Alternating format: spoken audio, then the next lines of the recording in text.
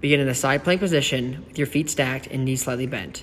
Pop yourself up into a two point stance side plank position and use your bottom hip to push yourself high so that your hips are level with your shoulder.